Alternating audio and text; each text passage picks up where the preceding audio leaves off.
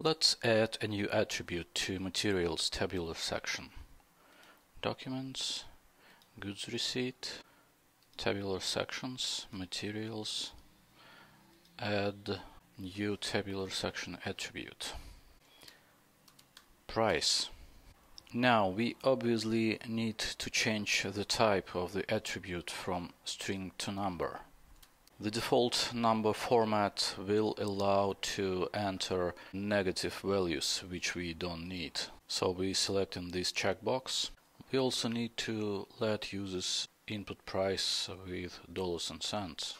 So let's increase the precision and press OK. Let's take a look at our document form.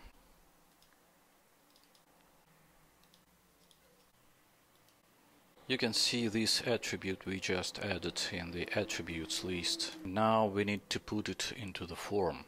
To do so we can just drag and drop it right here. And we are done. New price attribute is ready to go.